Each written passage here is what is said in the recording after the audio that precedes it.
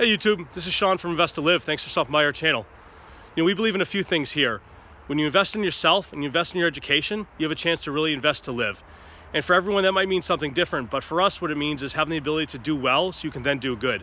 So whether your goal is to improve your finances, get a head start on college savings, or even look at retirement or anything in between, we want to make sure you have the education you need at no cost.